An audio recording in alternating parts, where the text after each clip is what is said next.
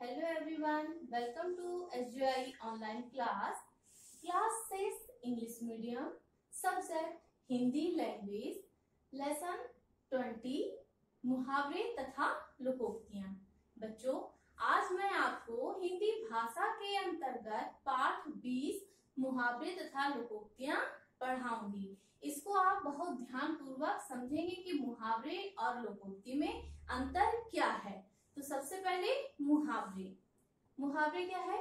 कई बार भाषा को रोचक व आकर्षक बनाने के लिए हम विशेष वाक्यांशों का प्रयोग करते हैं। इन वाक्यांशों का अर्थ वह नहीं होता है जो नज़र आता है, बल्कि ये अपने अंदर एक विशेष अर्थ लिए होते हैं। ऐसे वाक्यांशों को मुहावरे कहते हैं। फिर से देखिए इसको। कई बार भाषा को रोचक व आकर्षक बनाने के लिए हम विशेष वाक्यांशों का प्रयोग करते हैं। इन वाक्यांशों का अर्थ वह नहीं होता है जो नज़र आता है, बल्कि ये अपने अंदर एक विशेष अर्थ लिए होते हैं। ऐसे वाक्यांशों को मुहावरे कहते हैं। अतः हम कह सकते हैं, मुहावरे ऐसे वाक्यांश होते हैं जो अपने शाब्दिक अर्थ से अलग किसी अन्य अर्थ का संकेत करते हैं। फिर से देखिए परिभाषा।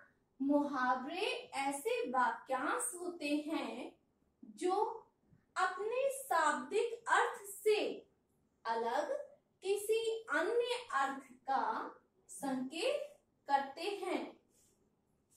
पहला मुहावरा है।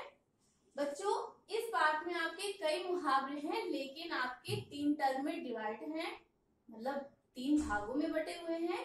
तो जो इसका पहला भाग है, छह जो मुहावरे हैं आपके ये टर्म फ़र्स्ट में आएँगे, ठीक है? इन्हीं के अंतर्गत आएगा। तो अभी हम सिर्फ़ उतने ही पढ़ेंगे जितने हमें टर्म फ़र्स्ट में आने हैं। तो पहला क्या है? आँख लगना। इसका अर्थ क्या हुआ? नींद आना। वाक्यांश वह तीन रात से सोया नहीं था। आँखें लग गई हैं, मत जगाओ। इसके बाद दूसरा मुहावरा क्या है? आँखों का तारा होना, अर्थ, अत्यंत प्यारा होना, वाक्यांश अचिंत अपने माता पिता की आँखों का तारा है। तीसरा मुहावरा, आँखें बिछाना। इसका अर्थ होता है आदर करना। वह इतना अतिथि सत्कारी है कि कोई भी पहुँच जाए सम्मान में आँखें बिछा देता है। इसके बाद चौथा मुहावरा है बच्चों, आँखें फेर लेना। इसका अर्थ हुआ, संबंध ना रखना। उसने तो ऐसी आँखें फेरी कि अब इधर आता ही नहीं है। इसके बाद पांचवा है मुहावरा, आग आग लगना, लगाना। सॉरी आग लगाना। इसका अर्थ क्या हुआ? झगड़ा करना। वह वहाँ जाता है या वह जहाँ जाता है, वहीं आग लगा देता है। वह जहाँ जाता है, वहीं आग लगा देता है। इसके बाद छठवा है, पराई आग में हाथ सेकना। इसका अर्थ क्या हुआ? दूसरों के झगड़ों से फ़ायदा उठाना। वाक्य प्रयोग उसका तो स्वभाव ही ऐसा है कि पराई आग में हाथ सेकता है। मुहावरों को पुनः समझ लीजिए बच्चों। आँख लगना। इसका अर्थ क्या हुआ? नींद आना। वह तीन रात से सोया नहीं था आँख लग गई, मत जगाओ। ये क्या हुआ? इसका वाक्य प्रयोग। दूसरा है, आँखों का तारा होना। इसका अर्थ हुआ, अत्यंत प्यारा होना। अचिंत्य अपने माता पिता की आँखों का तारा है। तीसरा, आँखें बिछाना। इसका अर्थ हुआ, आदर करना।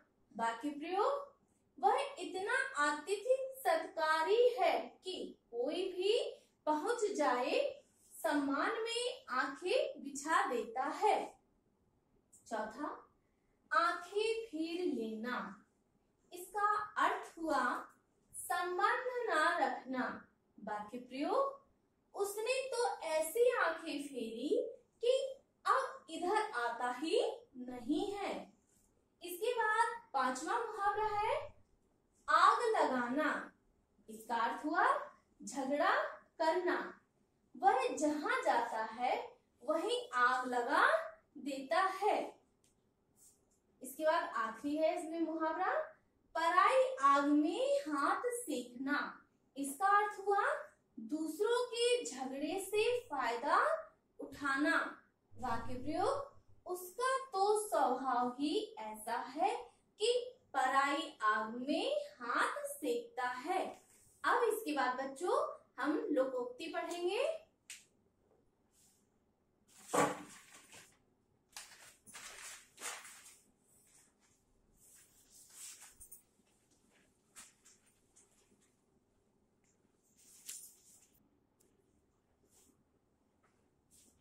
अब इसके बाद बच्चों, लोकोक्ति। लोकोक्तियाँ क्या है?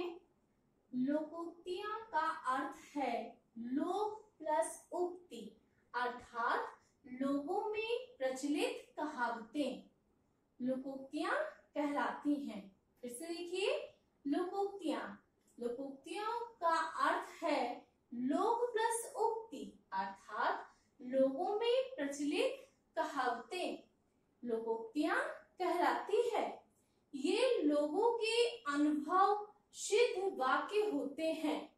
ये लोगों के अनुभव सिद्ध वाक्य होते हैं, जो अनुभव प्राप्त होता है, वही वह कहते हैं। तो क्या कहते हैं? ये लोगों के अनुभव सिद्ध वाक्य होते हैं। इनका प्रयोग उपदेश देने या समझाने के लिए किया जाता है।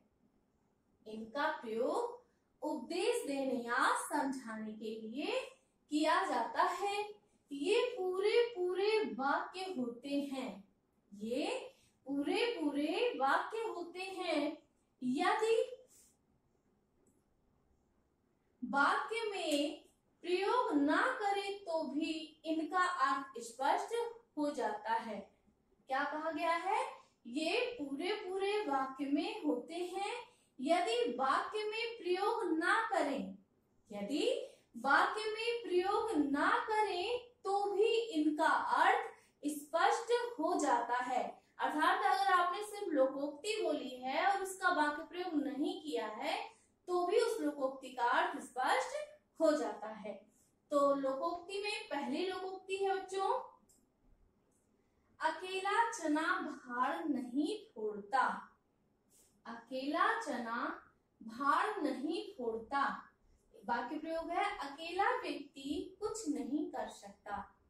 अकेला चना भार नहीं फोड़ता, अर्थात अकेला व्यक्ति कुछ नहीं कर सकता। दूसरा अध जल गगरी छलकत जाए। अध जल गगरी छलकत जाए। इस लोकोक्ति का अर्थ है, ओछा आदमी अधिक दिखावा करता है। अर्थात ज्ञान पूर्ण नहीं है। अगर तुच्छ ज्ञान प्राप्त हो जाता है तो वह अपने आप को सर्वश्रेष्ठ समझने लगता है और बहुत दिखावा करना शुरू कर देता है। अर्थात ओछा आदमी अधिक दिखावा करता है। इसके बाद तीसरा है, आप काज महाकाज। आप काज महाकाज।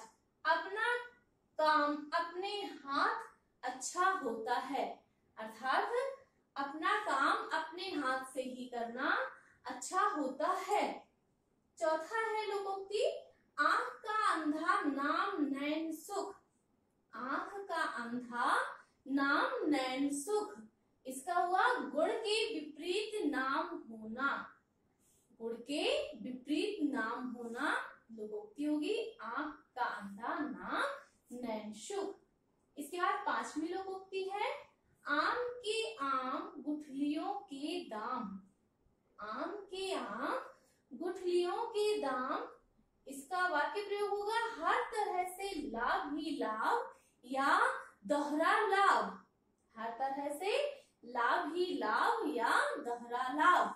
इसको एक बार पुनः देखेंगे बच्चों। लोकोक्तियाँ।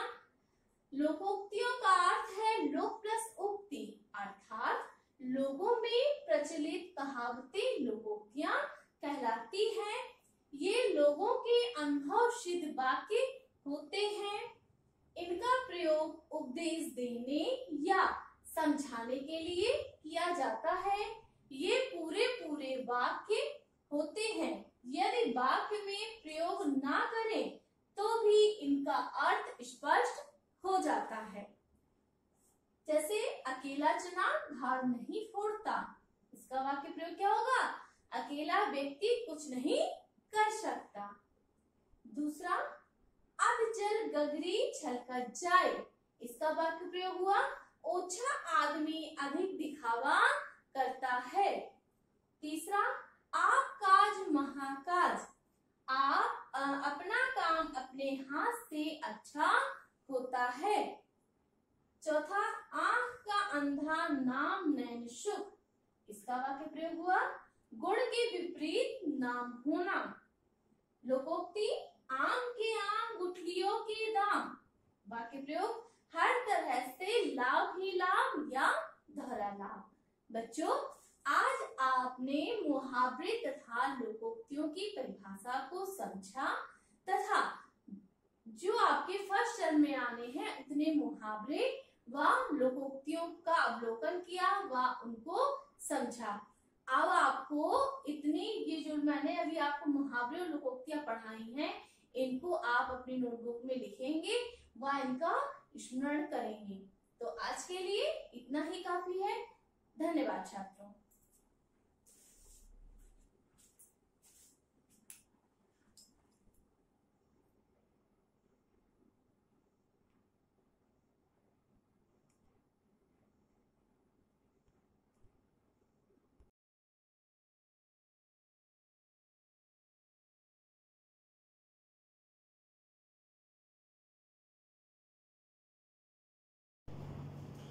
Morning students, I welcome you all to the online class of SGOI. In the last class we have completed till exercise 4b that was reduction of the fractions to their lowest or simplest terms. Okay. Today we will be starting with the theory which will be dealing with our next exercise that is 4c. Into that pro process the first heading I would like to tell you is various types of fractions will be understanding types of fractions.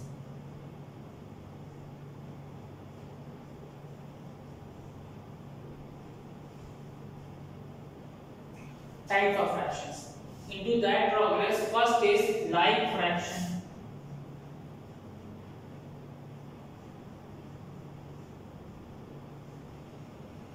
What are like fractions?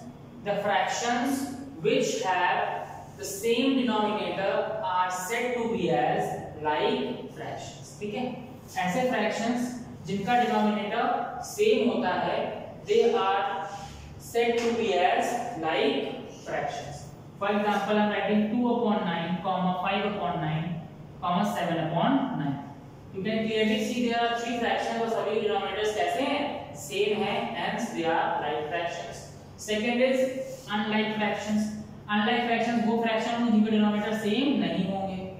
For example मैंने यहाँ पे लिखा 3 यहाँ लिखा 4 और यहाँ लिख दिया 5 ठीक है? अब यू कैन क्लियरली सी तीनों फ्रैक्शंस में डिनोमिनेटर सेम नहीं है। देयरफॉर ये कैसे फ्रैक्शंस हैं? ये अनलाइक फ्रैक्शंस हैं। Next unit fraction unit fraction unit fraction कौन सा फ्रैक्शन ऐसे फ्रैक्शन जिनका डिनोमिनेटर हमेशा 1 होता है। They are called unit fraction like 1 upon 3 1 upon 5 1 upon 7 सारे fractions में जो numerator है वो कैसा है 1 है therefore these fractions are termed to be as unit fraction now main thing is proper fraction and improper fraction proper fraction and improper fraction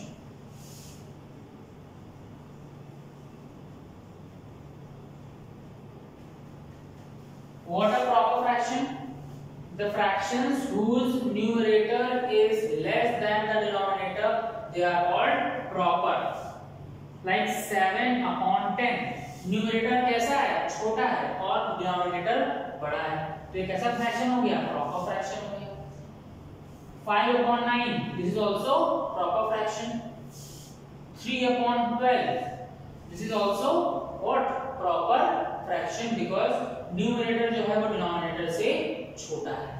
numerator जो है वो डिनोमिनेटर से कैसा होता है? छोटा होता है। एंड इन इम्प्रॉपर फ्रैक्शन इसका रिवर्स होगा।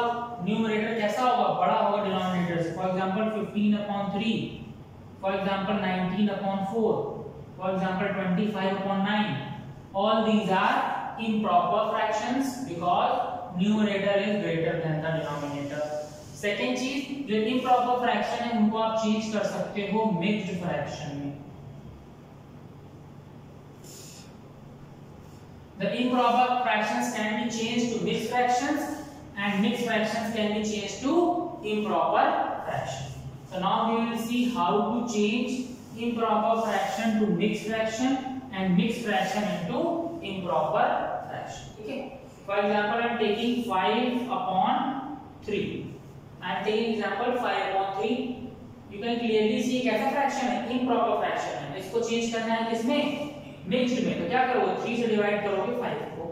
तो यू गेट 3 1 जा 3 subtract 2 remainder is 2 quotient is 1 divisor is 3 तो अगर इसको आप इस तरह लिख दो पहले आप लिखो क्या क्वोशंट दैट इज़ 1 फिर ऊपर लिखो रिमाइंडर 2 और फिर लिखो डिवाइजर 3 ऐसे लिखने पे ये जो इम्प्रॉपर फ्रैक्शन है, वो मिक्स्ड में चेंज हो गया, ठीक है? और इस मिक्स्ड को वापस इम्प्रॉपर में चेंज करना है तो कैसे करोगे? थ्री का मल्टीप्लाई इससे three one three plus two five five upon three this is how you can change improper to mixed and mixed to improper, okay? So now let's start with the exercise, that is exercise 4c exercise 4c in exercise 4c question number 1 it is saying, point out the proper and improper fractions from the following. इसमें total 10 part दिए हैं और आपको बोला जा रहा है कि इन सभी में आपको देख के बताना है कि कौन से प्रॉपर हैं और कौन से इम्प्रॉपर हैं। तो this I want you to do it by yourself क्योंकि आई हैव टोल्ड यू कि कैसे आप पहचानोगे प्रॉपर और इम्प्रॉपर फ्रैक्शंस जब न्यूमरेटर छोटा होता है डिनोमिनेटर से तो प्रॉपर जब न्यूमरेटर बड़ा होता है डिनोमिनेटर तो इम्प्रॉपर ठीक है? Now moving to question number 2 it is saying convert each of the following mix fractions into improper fractions question number 2 mix fractions दिए हैं, उनको इंप्रॉपर में चेंज करना है. दो पार्ट में कर दे रहा हूँ.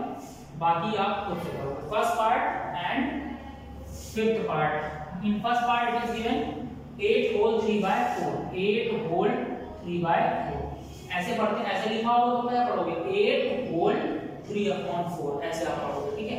क्या तरीका बोला मैंने? इसका मल्टीप्लिकेशन इससे करोगे तो 4 into 8 दैट इज़ 32 और फिर यहाँ पे ऐड करोगे तो 32 प्लस 3 दैट इज़ 35 हो जाएगा, और अपॉन में 4 तो ये इम्प्रॉपर मिक्स फ्रैक्शन चेंज हो गया improper now coming to its fifth part fifth part में गिवन है 9 होल 7 बाय 16 9 होल 7 बाय 16 फिर से इसका इससे मल्टीप्लाई और फिर इसमें ऐड तो 16 9 जा विल गेट 144 है ना 16 9 जा 144 144 प्लस 7 151 तो आंसर हो जाएगा 151 अपॉन 16 ठीक है so I hope you can understand the concept how to convert the mixed fraction into improper fraction now moving to question number 3 in question number 3 आपको क्या करना है? उल्टा करना है। इम्प्रॉपर में से मिक्स में जाना है, ठीक है? तो इसका भी दो पार्ट कर रहा हूँ। Second part and fourth part in second part is given 80 upon 7 80 upon 7 क्या करना पड़ेगा? 80 को 7 से डिवाइड करोगे। 80 7 से। 7 वन जा 7 1 मिलेगा।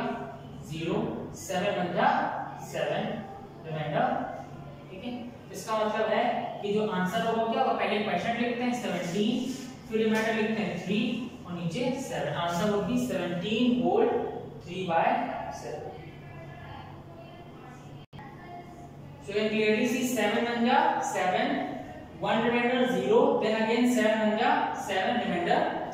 तो आंसर कितना है? पहले क्वेश्चन लिखते हैं 11 वोल्ट देन रिमाइंडर लिखेंगे थ्री और फिर नीचे लिखेंगे सेवन तो आंसर हो जाएगा 11 whole 3 upon 7 moving to its fourth part in fourth part it is given 115 upon 13 115 upon 13 तो क्या करना पड़ेगा 13 से डिवाइड करना पड़ेगा 115 को Do you know that 13 8s are 104 13 8 कितना होता है 104 होता है सब्ट्रैक्ट करोगे तो कितना मिलेगा 11 मिलेगा तो क्या लिखो पहले क्वेश्चन लिखते हैं तो 8 होल देन रिमाइंडर लिखेंगे 11 upon 30 so your answer will be 8 whole 11 upon 30 okay so this is how you can complete the rest of the part of this question number 3 now moving to question number 4 in question number 4 it is saying convert each of the following sets of unlike fractions into like fractions अब question number 4 में आपको unlike fractions given हैं, उनको आपको इसमें change करना है? like fractions में change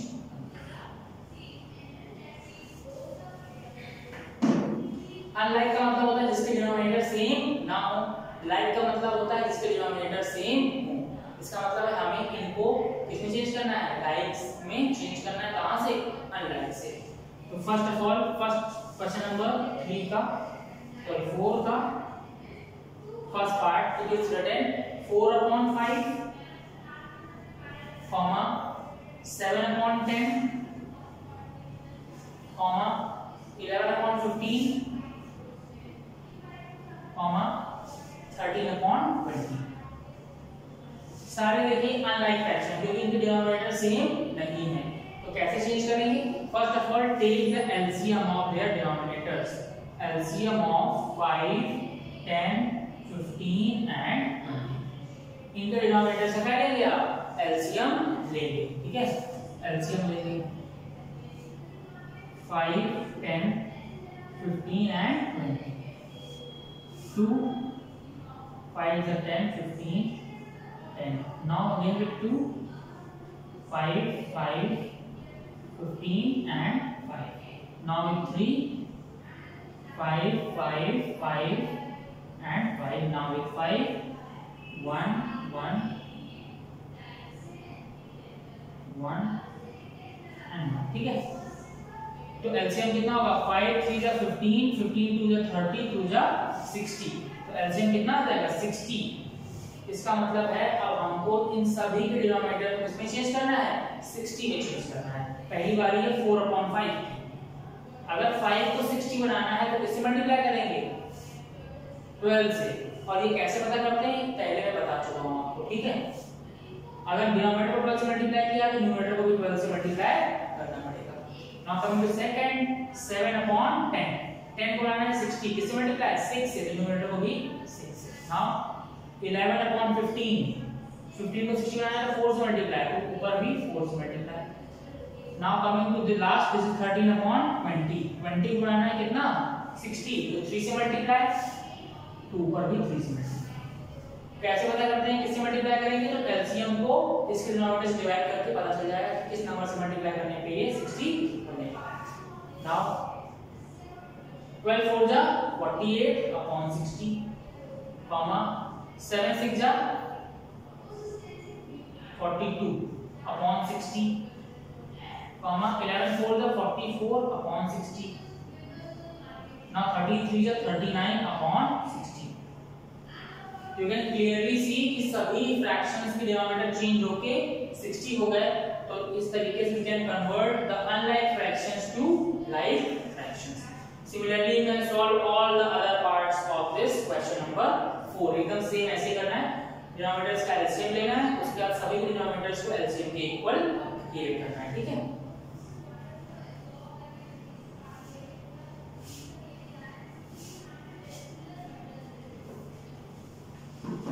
Now moving to question number five.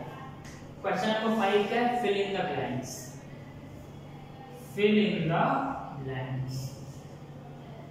और कैसे फिल करनी? Greater than and less than के साइन से, है ना? Less than and greater than के साइन से इसमें टोटल कई सारे पार्ट्स हैं टोटल 12 पार्ट्स हैं I am doing some for you in first part is written 7 upon 9 then बीच में बॉक्स है then it is written 9 5 upon 9 आपको बताना है कि ये फ्रैक्शन बड़ा है कि ये फ्रैक्शन बड़ा है, ठीक है? जब भी डिनोमिनेटर सेम होते हैं तो जिसका न्यूमरेटर बड़ा होता है, वही फ्रैक्शन बड़ा होता है, ठीक है? तो देख पा रहे हो आप, इसका डिनोमिनेटर भी 9 है, इसका डिनोमिनेटर भी 9 है। तो जो न्यूमरेटर बड़ा, वही फ्रैक्शन बड़ा। तो ये न्यूमरेटर 7 है और ये 5 है। बड़ा कौन सा? 7 देयरफॉर ये पूरा पूरा फ्रैक्शन बड़ा हो जाएगा। Hence 7 upon 9 is greater than 5 upon 9 okay तो सेम डिनोमिनेटर वाले क्वेश्चन आप ऐसे कर लोगे, जिसमें सेम डिनोमिनेटर होगा तो क्या देखोगे, जिसका न्यूमरेटर बड़ा होगा, वही फ्रैक्शन बड़ा हो जाएगा। अब चलते हैं उसकी तरफ़, जिसमें न्यूमरेटर सेम होते हैं, है ना? जैसे सेम आते हैं थर्ड पार्ट में इन थर्ड पार्ट में it is given 3 upon 5 then box, and then written 3 upon 4 अब इस वाले क्वेश्चन में क्लियरली सी कि डिनोमिनेटर बड़े नहीं है डिनोमिनेटर तो बराबर है। सही डिनोमिनेटर बराबर नहीं है न्यूमरेटर बराबर है ना? यहाँ पे क्या था? डिनोमिनेटर बराबर थे। यहाँ पे न्यूमरेटर आर इक्वल तो जब न्यूमरेटर इक्वल होते हैं तो जिसका डिनोमिनेटर छोटा होता है, वो फ्रैक्शन बड़ा होता है। ठीक है? तो 4 क्योंकि छोटा है, इसलिए फ्रैक्शन कौन सी बड़ी होगी? 3 अपॉन 4 फिर से रैप अप करूँगा। जब डिनोमिनेटर सेम होते हैं तो जिसका न्यूमरेटर बड़ा होता है, वही फ्रैक्शन बड़ा होता है। जब भी न्यूमरेटर सेम होते हैं तो जिसका डिनोमिनेटर छोटा होता है, वही फ्रैक्शन बड़ा होता है। ठीक है? I hope you have got you have understood the concept now moving to other questions जहाँ पे ना न्यूमरेटर इक्वल होगा और ना ही डिनोमिनेटर इक्वल होगा, उनको कैसे सॉल्व करेंगे?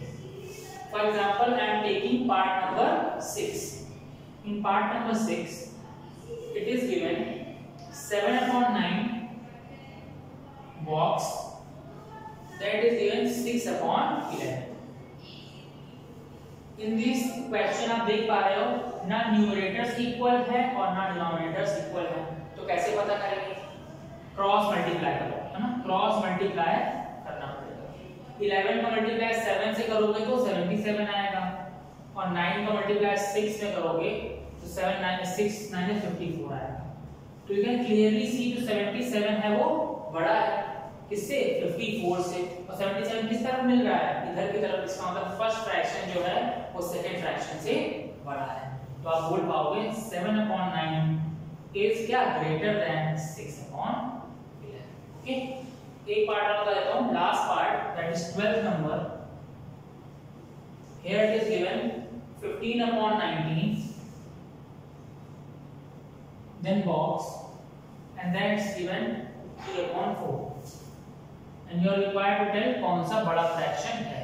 फिर से क्या करेंगे? क्रॉस मल्टीप्लाई करेंगे। ओके 15 4 जा 60 ऐसे क्रॉस मल्टीप्लाई होता है ना? ठीक है?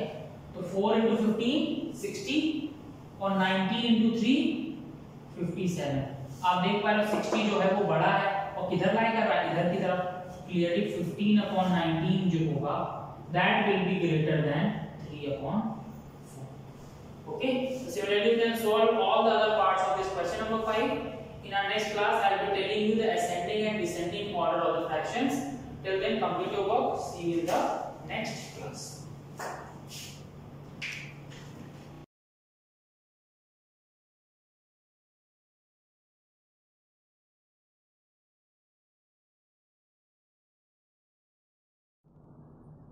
Students, welcome to Sivaji Group of Institutions online classes and this is your biology class. Students, uh, in our previous class we have already discussed the started the unit 2 diversity in cell and cell division and in this chapter we have already discussed the cell number, cell size, cell shape, uh, how the cells are differ from the cell number, cell size and cell shape. Now today we will discuss about the cell division. And our today's topic is the cell division. So students, as you know, an an important characteristics of all living organism is to reproduce. Means all the cells has the capability to reproduce to young ones. This is known as reproduction. And uh, the cells also do so. Means all the living beings reproduce young ones. This is the pro this process called reproduction. So cells also do so. Cells arise from another cell by the process is called cell division. Means a cell is arise from another cell by the process is called cell division.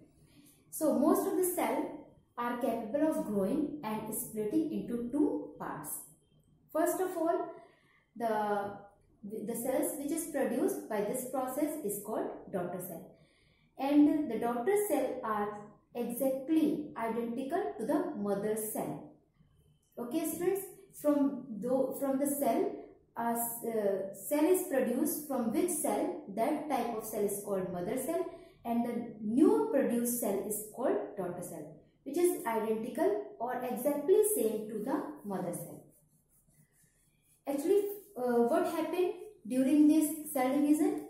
First of all the nucleus of the mother cell divide into two and then after that there is a division of cytoplasm so that each daughter cell gets one nucleus and cytoplasm. Finally, there is a division and one nucleus and cytoplasm goes to one cell and in another cell there is a cytoplasm and nucleus. So, each daughter cell contain one nucleus. Okay.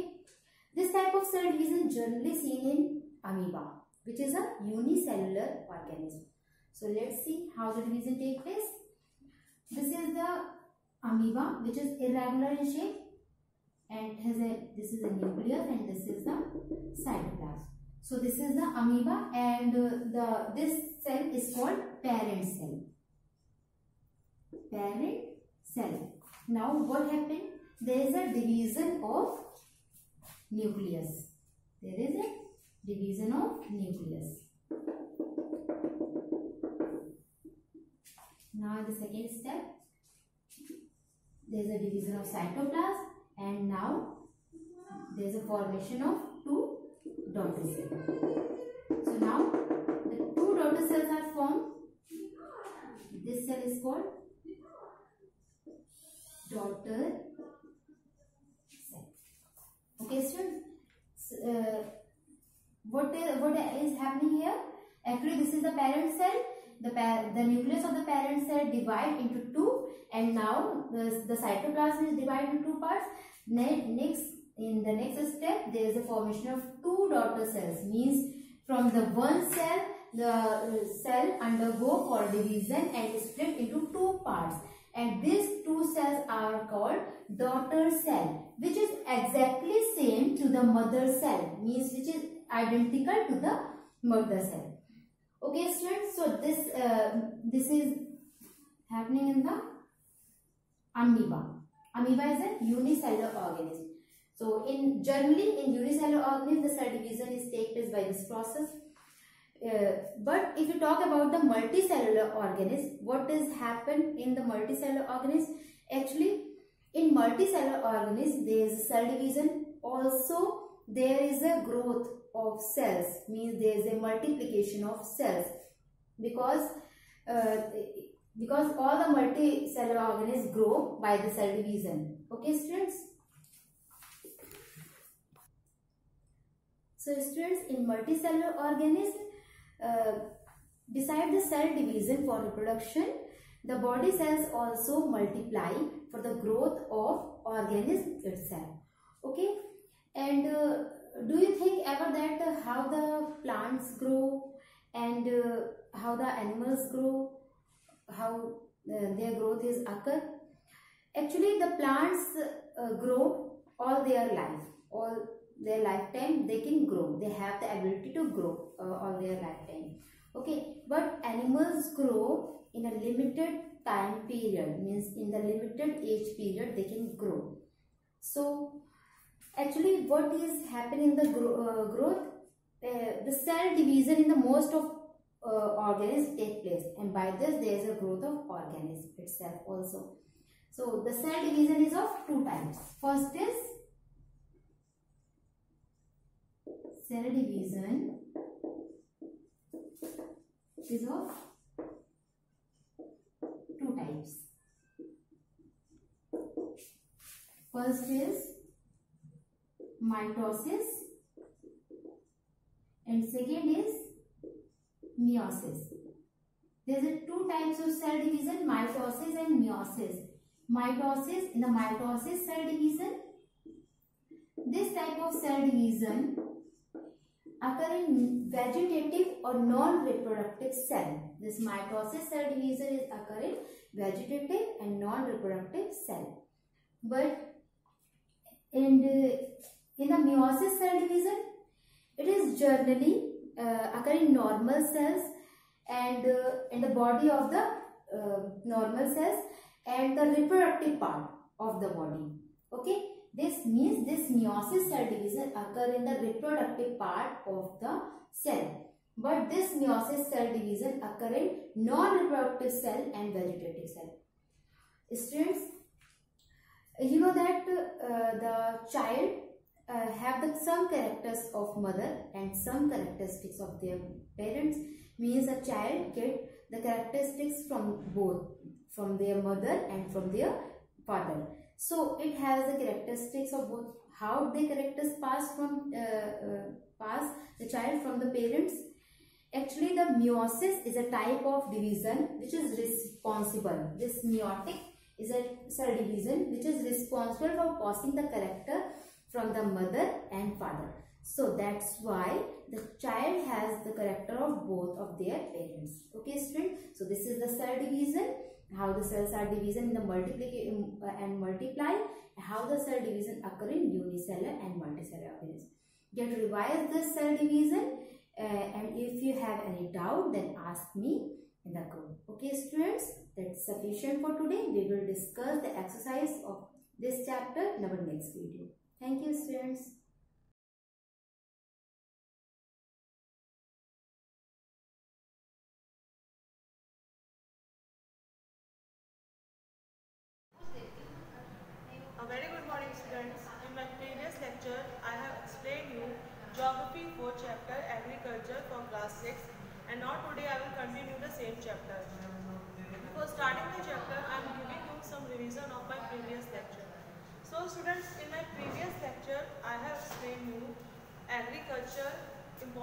Agriculture and types of agriculture in which I have explained you subsistence farming and their types. So for agriculture, agriculture plays a very important role in the economy of the country and provides food, income and employment to their rural population. जैसा कि आप जानते हो कि agriculture अपनी rural population को food income और employment opportunities provide करती है importance of agriculture like source of livelihood, contribution to national income, supplies food and fodder for the domestic animals, foreign exchange resource, source of raw materials, and there are three main seasons in India, Kharif, Rabi and Jail. And now types of agriculture. first type is subsistence farming that means Jeevan Nirvah Krishi. The aim of subsistence farming is to produce crop for the consumption of the farmer and his family. Subsistence farming may be two types, shifting cultivation and primitive farming. Primitive farming is found in some parts of the equatorial and tropical forest where people use simple tools and implements. Now shifting cultivation that is also called burn-off slash just zooming. In this uh, shifting cultivation a patch of ground is cleared very often with fire. Hence this type of farming is sometimes called burn और slash farming इसीलिए इस forming को कभी कभी हम लोग burn और slash forming भी कहते हैं। Now I will continue the same chapter so now characteristics of shifting cultivation तो they are so many characteristics of shifting cultivation a plot of land is clear by felling trees and burning them तो किसी भी land के plot को clear कर दिया जाता है बाई फॉलिंग ट्रीज पेड़ों को गिराकर उसको बर्न करके the ashes then mix with soil and crops like maize potatoes are grown और जो उसकी राख होती है जलाने के बाद जो उसकी एशेज होती है राख राख होती है उसको सॉयल के साथ मिला दिया जाता है और क्रॉप्स को ग्रो किया जाता है After the soil lost its fertility, the land is abandoned and the cultivator moves to new land. जब एक बार सॉइल की फर्टिलिटी खत्म हो जाती है तो cultivator moves to a new land तो कल्टीवेटर नए लैंड की ओर मूव करने लगता है. Shifting cultivation is also known as burn और स्लैश शिफ्टिंग कल्टीवेशन को हम लोग बर्न और स्लैश कल्टीवेशन भी कहते हैं. Shifting cultivation usually starts with cutting of trees and fire which clears a spot for crop production. In this case, shifting cultivation is a cycle. तो shifting cultivation में क्या किया जाता है? बच्चों, किसी भी ग्राउंड के एरिया को क्लियर कर दिया जाता है और वहाँ पर क्या किया जाता है? पेड़ों को गिराकर उनको बंद कर दिया जाता है और उसको ग्राउंड को क्लियर कर दिया जाता है। देन प्रोड्यूस ऑफ़ क्रॉप्स तो in this case shifting cultivation is a cycle इस केस में शिफ्टिंग कल्टीवेशन हमारा क्या होगा? एक साइकिल होगी where farmers come back to the original place जिसमें फार्मर्स क्या करते हैं कि अपने ओरिजिनल प्लेस की ओर वापस जाने लगते हैं काफ़ी टाइम के बाद it is practice in the thickly forested area of Amazon basin tropical Africa, parts of Southeast areas. This region receives heavy rainfall and this helps with the quick regeneration of vegetation. तो ये जो हमारा reason है ये कहाँ पाया जाता है thickly forested area Amazon basin के थिकली फॉरेस्टेड एरिया में पाया जाता है and this region receives heavy rainfall ये रीजन हैवी रेनफॉल को रिसीव करता है.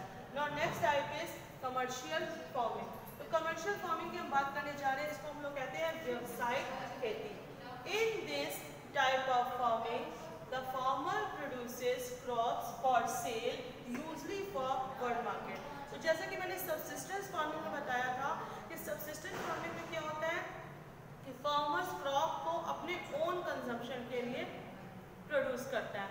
But in this case of commercial farming farmer produces crops for sale तो इस फ़ार्मिंग में फार्मर क्रॉप्स को प्रोड्यूस करता है सेल पर्पस के लिए. For world market world market में. Now, commercial farming may be two types, extensive commercial farming and intensive commercial farming. तो कमर्शियल फ़ार्मिंग भी हमारी दो तरीके की होती है, एक्सटेंसिव कमर्शियल फ़ार्मिंग जिसके लिए हम बात करने जा रहे हैं it employs employment of greater area of land in proportion it to capital and labour तो ये कहाँ पे इम्प्लाइज होती है?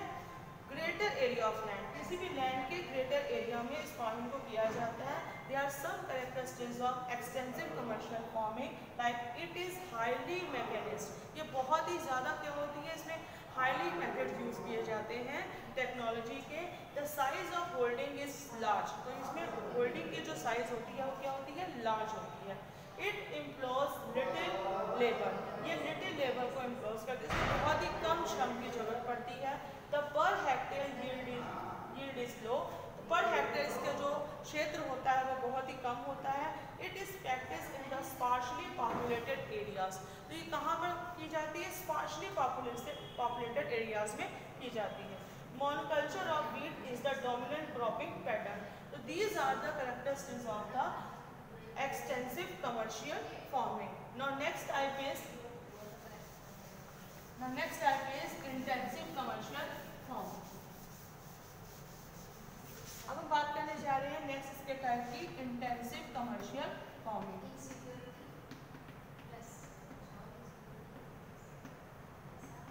intensive commercial farming first type था आपका extensive commercial farming second type is intensive commercial farming intensive commercial farming is practice where farm land is of high value तो intensive commercial farming कहाँ पे प्रैक्टिस की जाती है where farm land is where farm land is high value जहाँ पर form land की क्या होती है? हाई वैल्यू होती है। Population pressure reduces the size of individual individual holding तो पॉपुलेशन का जो प्रेशर होता है, वो इंडिविजुअल्स की होल्डिंग को क्या कर देता है? रिड्यूस कम कर देता है। As in the region of the delta of the great rivers of Asia तो they are some characteristics of intensive commercial farming small size of holding first is small size of holding. इसकी holding का size क्या होता है? बच्चों small होता है। और इंटेंसिव कमर्शियल फ़ार्मिंग की होल्डिंग का साइज़ क्या होता है? Highly now next is scattered field तो इसके फील्ड्स कैसे होते हैं? स्कैटर्ड मतलब कि बिखरे होते हैं scattered fields. Now third type is third characteristic is use of draught animals. Use of draught animals. Now fourth is use of domestic labor.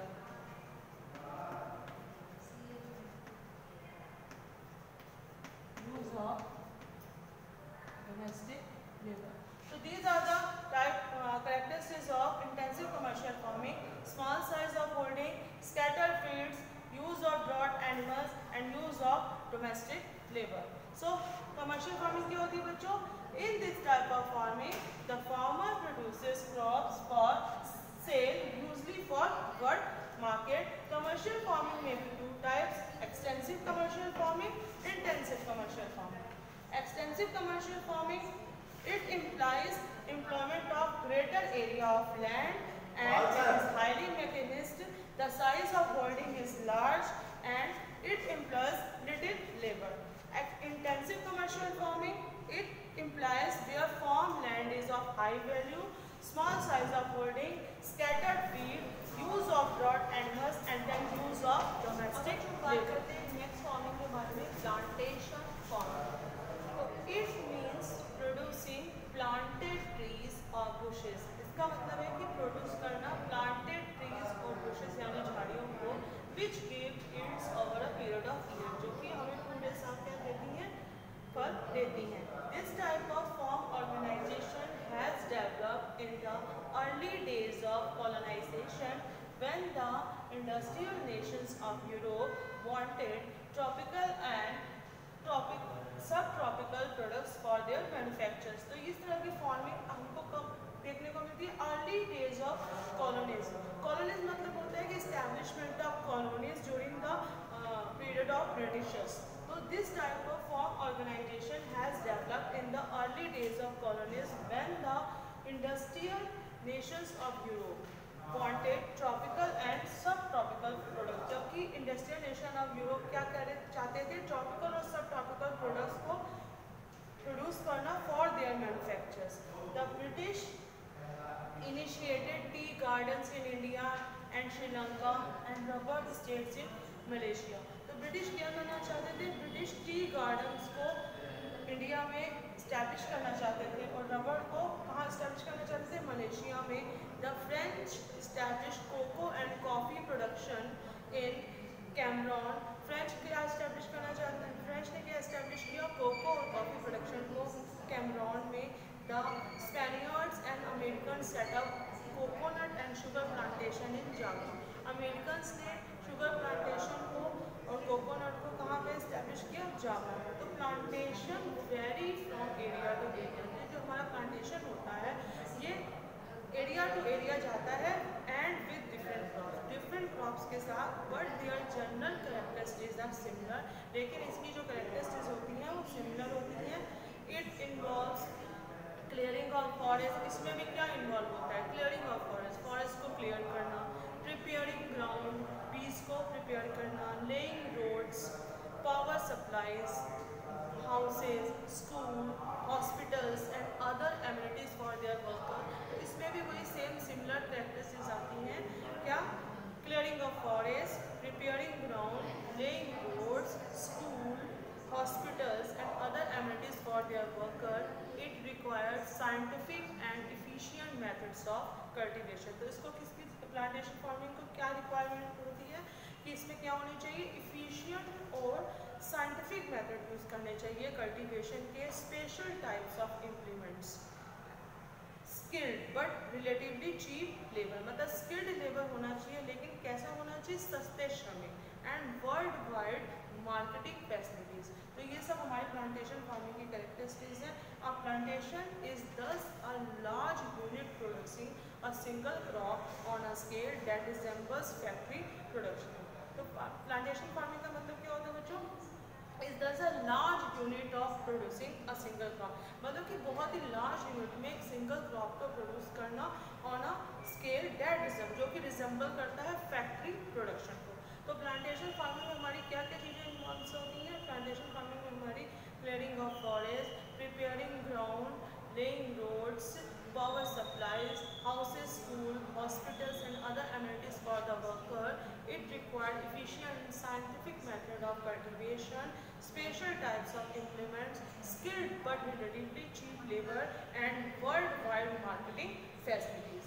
So the important crop plantation crops are rubber, coffee, tea, banana, coconut, pineapple and cinchona. तो हमारी जो मुख्य plantation फसलें हैं वो कौन सी rubber, tea, coffee, banana, coconut, pineapple and cinchona. Plantation farming requires large capital investment. In most cases, it takes several years before the first crop is ready for harvesting. So the development of plantation system has given the world a large supply of tropical products at lower prices. Most of the plantations of the world are situated in the tropical zone. Mostly जो हमारे plantation है world के plantation है वो कहाँ पर स्थित है कहाँ पर situated है tropical zone में जैसे कि Malaysia Indonesia Sri Lanka West Africa West Indies and India I hope you understand what is plantation farming. It means producing planted trees or bushes which give yields over a period of year. And now characteristics of plantation farming.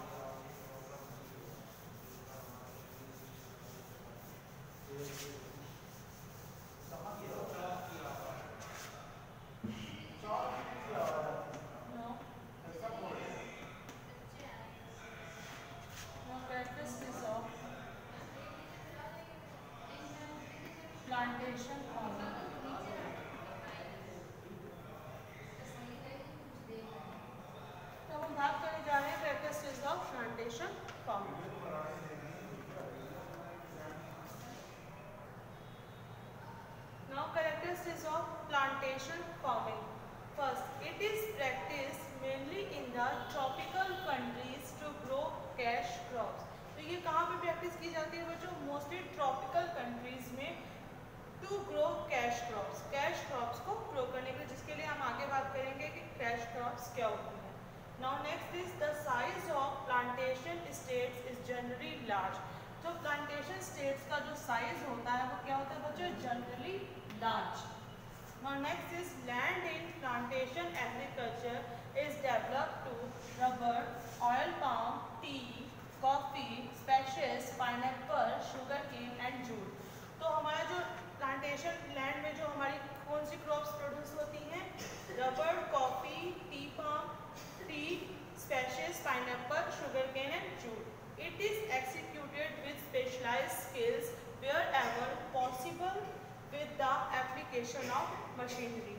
Now next is there is heavy application of fertilizer, insecticides and pesticides. तो इसमें heavy application मतलब fertilizers का use होता है H seeds का use किया जाता है इंसेक्टिसाइड्स और पेस्टिसाइड्स का यूज़ किया जाता है it aims at high yields तो इसका एम क्या होता है high yields in most of the plantation states there are factories produce the marketable products. So these are the characteristics of plantation farming practiced mainly in tropical countries to grow, grow cash crops. The size of plantation estates is generally low. Land in plantation agriculture is developed to rubber, oil palm, tea, coffee, spices, pineapple, sugarcane and jute. It is executed with the specialist skill wherever possible with the application of machinery and now next is there is heavy application of fertilizers, insecticides and pesticides. So today what I explained commercial farming and plantation farming. Commercial farming in commercial farming the farmer produces crops for sale usually for world market and plantation farming plantation means it means producing planted trees or bushes which give yields over a period of years. And these are the characteristics of plantation farming. Commercial farming may be two types, extensive commercial farming, intensive commercial farming. So that's all for today. I will continue this chapter in my next video.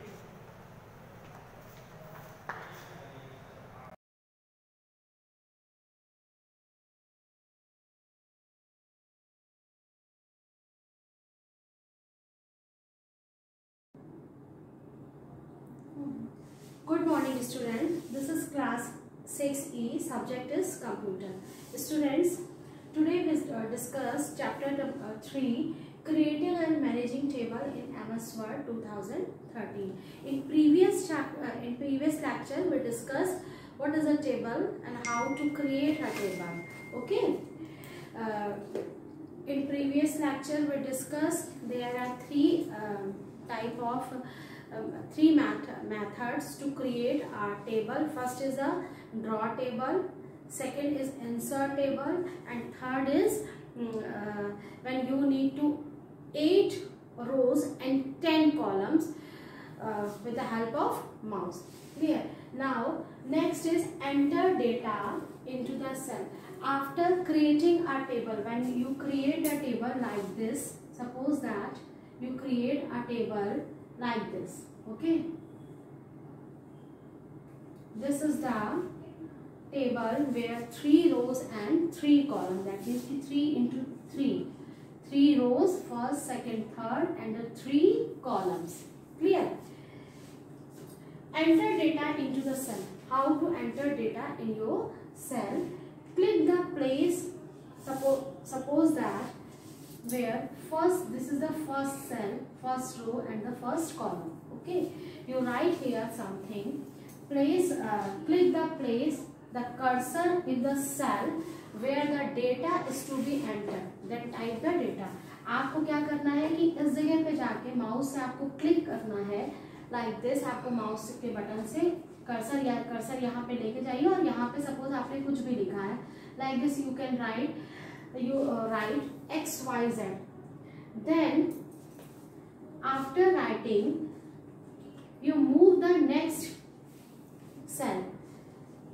How to move the next cell? You press the tab key. Okay remember always you press the tab key. Tab key used to move the one cell to another cell.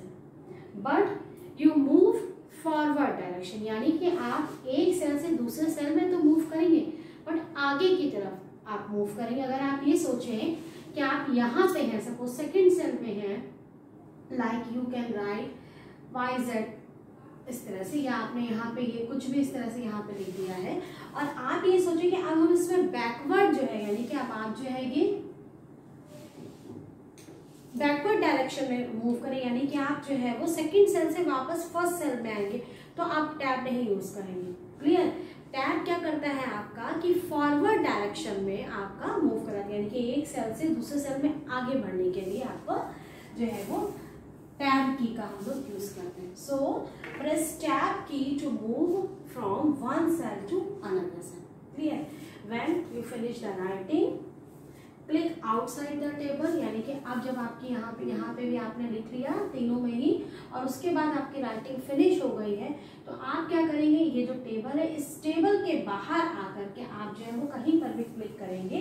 Click outside the table when you have finish the entering the table यानी कि जब आपका work complete हो जाएगा, तब आप उस table के बाहर जो है वो कहीं पर भी क्लिक करनी है अदरवाइज़ इस टेबल में कहीं पर भी एक सेल से दूसरे सेल में मूव करना है तो आपको हर बार टैब की जो है वो प्रेस करनी होगी। अगर आपने माउस का या एरो की जो चार आपकी जो एरो कीज बनी होती हैं इसमें, अगर आपने इससे अगर मूव किया है तो आप जगह एरो की से अगर आप मूव करेंगे तो आप इसी सेल में ही आगे बढ़ते जाएँगे।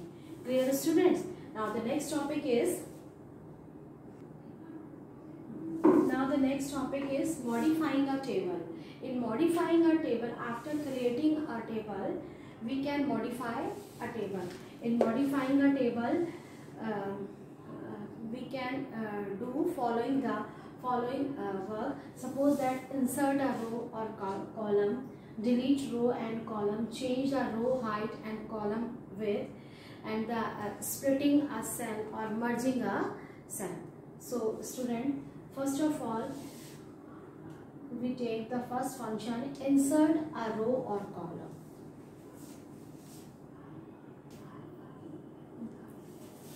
now next topic is inserting a row or column first of all select the uh, click on the uh, table where the row or column to be added यानी कि आपका सपोज़ अगर ये टेबल है ठीक है आपकी ये टेबल है जिसमें कि आपको रो या कॉलम आपको इंसर्ट कराना है। तो अगर आपको यहाँ पे इंसर्ट कराना मतलब इस और इस रो के बीच में एक इंसर्ट कराना है तो सबसे पहले आप क्या करेंगे, पहले उस टेबल पर आप क्लिक कर लेंगे जिसमें आपको रो और कॉलम आपको इंसर्ट कराना है, ठीक है? फिर आपको क्या करना है click on the layout tab click on the layout tab आपका मेन मेन्यू में जब आप जब आप कोई टेबल सेलेक्ट करते हो, जैसे ही आप टेबल सेलेक्ट करेंगे तो आप ऊपर देखेंगे मेन्यू बार में आपका लेआउट टैब अपने आप ही आ जाता है। तो लेआउट का मतलब यही हो गया कि वो आपका रिलेटेड टू टेबल अगर आपने टेबल नहीं सेलेक्ट किया तो आपको लेआउट नहीं दिखाई पड़ेगा। ये चीज़ ज़रूर ध्यान रखिएगा कि पहले आपको टेबल जो टेबल है, आपको वो टेबल सेलेक्ट करनी पड़ेगी, फिर आपको ये लेआउट टैब क्लियर होगा। अब इसके बाद जब आपका लेआउट टैब आ जाएगा तो उसके लेआउट टैब के जस्ट नीचे आप वहाँ पे देखेंगे। जैसे मैंने अभी आपसे कहा, यहाँ पे फ़ाइल एडिट बहुत सारे मेन्यू आपके होंगे। तो यहाँ पे कहीं आपका लेआउट होगा। लेआउट पे जैसे ही आप सेलेक्ट करेंगे, आप उसके नीचे देखेंगे, नीचे उससे रिलेटेड जो है वो बहुत सारे ग्रुप आपके ओपन हो जाएँगे। लेआउट के अंदर जितने भी ग्रुप हैं, वो सारे ग्रुप आपके आएँगे। और इसमें से आपको रो और कॉलम ग्रुप को क्लिक करना है। ध्यान रखिएगा। लेआउट के बाद आपको किसको सेलेक्ट करना है? रो एंड कॉलम ग्रुप को आपको सेलेक्ट करना है। स्टूडेंट्स ये क्लियर हो गया। क्योंकि हमको क्या करना है? रो और कॉलम को ही इंसर्ट कराना है या उसको डिलीट कराना है। क्लियर तो अब आपका जब हम लोग रो और कॉलम ग्रुप में आएँगे तो रो कॉलम में आपके चार ऑप्शंस दिए रहते हैं। ये फोर ऑप्शंस में आपको ज़रूर ध्यान रखना है। और इनके बारे में आपको पूरा क्लियर होना चाहिए। ठीक है? फ़र्स्ट आपका है इंसर्ट अबव फ़र्स्ट पहला आपका क्या है? इंसर्ट अबव सेकेंड आपका है